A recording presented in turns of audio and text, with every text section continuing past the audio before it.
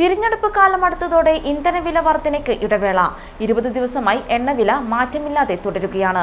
ഫെബ്രുവരി ഇരുപത്തിയേഴിനു ശേഷം വില വർദ്ധിപ്പിച്ചിട്ടില്ല ഇതോടെ നഷ്ടത്തിലായത് തുടർച്ചയായി വില കൂട്ടിക്കൊണ്ടിരുന്ന എണ്ണ കമ്പനികളാണ്.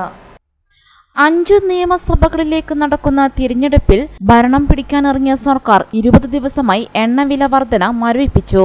അന്താരാഷ്ട്ര വിപണിയിലെ വിലയനുസരിച്ച് ഇന്ത്യയിൽ വില കൂട്ടാൻ സർക്കാർ നൽകിയ അനുമതി മുതലെടുത്ത് ഓരോ ദിവസവും തുടർച്ചയായി വില കൂട്ടിക്കൊണ്ടിരുന്ന കമ്പനികൾക്ക് ലാഭം ഇരട്ടിയാക്കാനുള്ള അവസരമാണ് വിലവർദ്ധനവ് മരവിപ്പിച്ചതിനാൽ തൽക്കാലം മുടങ്ങിയത്.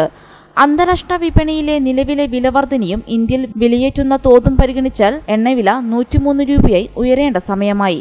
ഒട്ടുമിക്ക നഗരങ്ങളിലും ഇത് നൂറ് രൂപയാവുകയും ചെയ്തതാണ്. എന്നാൽ ഭരണ പ്രതിപക്ഷ കക്ഷികൾ തെരഞ്ഞെടുപ്പിനായുള്ള പ്രവർത്തനം സജീവമാക്കിയതിനാൽ എണ്ണവില മരവിപ്പിക്കുകയായിരുന്നു. ഇതുവഴി ഒരു ലിറ്റർ പെട്രോളിന് ചുരുങ്ങിയത് നാല് രൂപയാണ് ജനത്തിന് ലാഭം ലഭിക്കുന്നത്. ഡീസലിന് രണ്ട് രൂപയും ലാഭമായി ലഭിക്കുന്നു. ഫെബ്രുവരി ഇരുപത്തിയേഴിന് ശേഷം ഇന്ധനവില ഉയർത്തിയിട്ടില്ല. മുമ്പ് രാജ്യാന്തര വിപണിയിൽ കുറഞ്ഞപ്പോഴും ഇന്ത്യയിൽ വില ഉയർത്തുന്നത് തുടർക്കഥയായിരുന്നു. ഫെബ്രുവരി പതിനേഴിനാണ് രാജ്യചരിത്രത്തിൽ ആദ്യമായി പെട്രോൾ വില നൂറ് കടന്ന് കുതിച്ചത്. News Desk for Times News.